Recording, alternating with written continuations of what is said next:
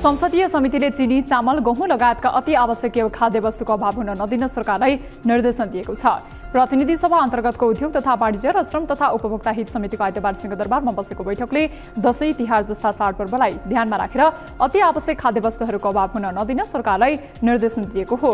त्यसै गरी बैठकले अति आवश्यकीय खाद्य वस्तुहरूको बिक्री वितरण सुलभ मूल्यमा गर्नका लागि पनि सरकारलाई सचेत गराइएको समितिका सभापति अब्दुल खानले जानकारी दिएका छन्। समितिले बजारको माग अनुसार मूल्य वृद्धि करमा पुरै छुट हुने गरी अति आवश्यकीय खाद्य वस्तुको आयात गर्ने उद्योग वाणिज्य तथा आपूर्ति मन्त्रालयको माग सम्बोधन हुने गरी तत्काल सहमति दिन पनि अर्थ मन्त्रालयको ध्यानकर्षण गराएको छ। सरकारले दसैँ तिहार जस्ता चाडपर्वलाई लक्षित गरेर सुपथ मूल्य पसल सञ्चालनमा ल्याउने तयारी गरेको छ।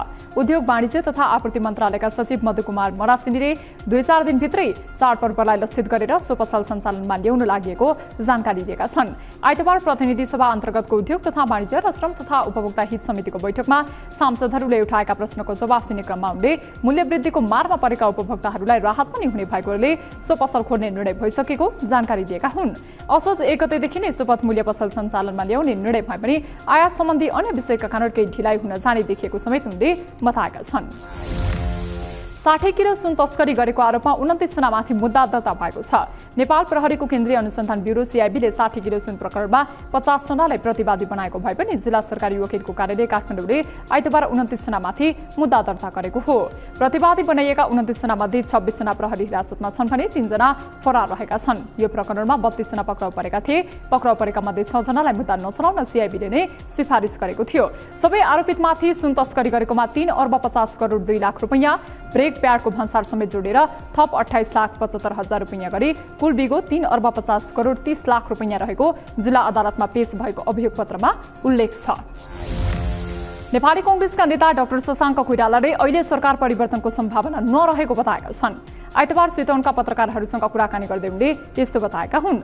सत्ता गठबन्धनमा सामान्य खटपट भए पनि अहिले नै सरकार परिवर्तनको सम्भावना भने नरहेको उनको भनाइ छ। सरकारको स्थायित्व आवश्यक रहेको उल्लेख गर्दै उनले स्थायित्वले मात्रै देशको विकास सम्भव रहेको समेत बताएका छन्। अहिले पार्टीभित्रको खिचातानी रहेको तर यसले सरकारको समीकरणमा कुनै प्रभाव भने नहुने उनको जिकिर छ। विगतमा कतिपय समझदारी भएर पनि तोडिएको प्रसङ्ग उल्लेख गर्दै प्रचण्ड साधारण व्यक्ति नभएकोले समेत सजिलैसँग सरकार कसैले पनि खेल्न नसक्ने उनको दावी छ। नेपाली कङ्ग्रेसका सांसद अर्जुन नरसिंह केसीले भ्रष्टाचार रहँदासम्म सुशासन कायम हुन नसक्ने बताएका छन्। आइतबार त्रिभुवन विश्वविद्यालयको द्वन्द्व शान्ति र विकास अध्ययन विभागले आयोजना गरेको सत्रौँ सिपिडिएस डेको अवसरमा शान्ति स्थापनामा तल्लो तह नामक विषयमा आफ्नो धारणा राख्दै यस्तो बताएका हुन्। उनले अहिले राजनीतिक दलहरूप्रति वितृष्णा बढिरहेको र समाजमा भ्रष्टाचारले जरो गाड्दै सामाजिक द्वन्द्व समेत फैलिएको अवस्थामा सरकारले काम गर्न नसकेको टिप्पणी समेत गरेका छन्। केसीले सरकारले समयमा नै ती द्वन्द्व नियन्त्रणका लागि कदम चाल्न समेत आग्रह गरे।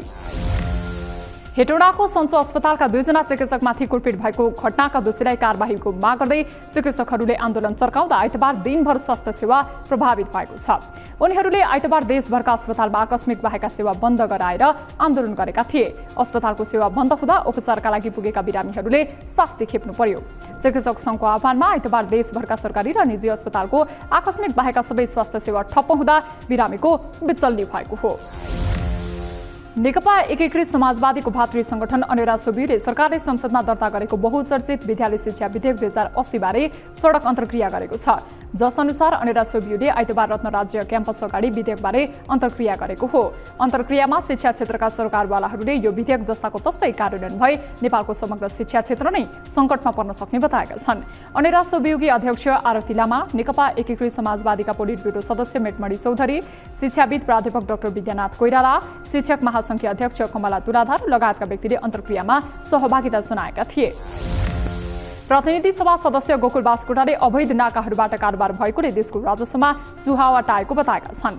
आइतबार प्रतिनिधि सभा अन्तर्गतको सार्वजनिक रेखा समितिको बैठकमा बोल्दै प्रतिनिधि सभा सदस्य बासकोटाले अवैध नाकाहरूबाट कारोबार भइरहेकोले देशको राजस्वमा चुहावट आएको बताएका हुन्। वैध नाकाहरूबाट कारोबार कम भइरहेको भन्दै उनले सानातिना नाकाहरूबाट माल सामान व्यापक रूपमा आइरहेको र तस्करी मौलाइरहेको दावी समेत गरेका छन्। सार्वजनिक जमिनहरू पनि मिचिरहेको भन्दै यसतर्फ पनि ध्यान दिनुपर्ने समेत उनले बताएका छन्। ठेक्का लगाएर निर्माण व्यवसायलाई पैसा नदिने र आयोजनाको म्याद र लागत बढाउने व्यथितिको पनि अन्त्य हुनुपर्नेमा उनको जोड छ। सुदूरपश्चिम र लुम्बिनी प्रदेशमा अटवारी पर्व मनाइएको छ। आइतबार सुदूरपश्चिम र लुम्बिनी प्रदेशमा अटवारी पर्व मनाइएको हो।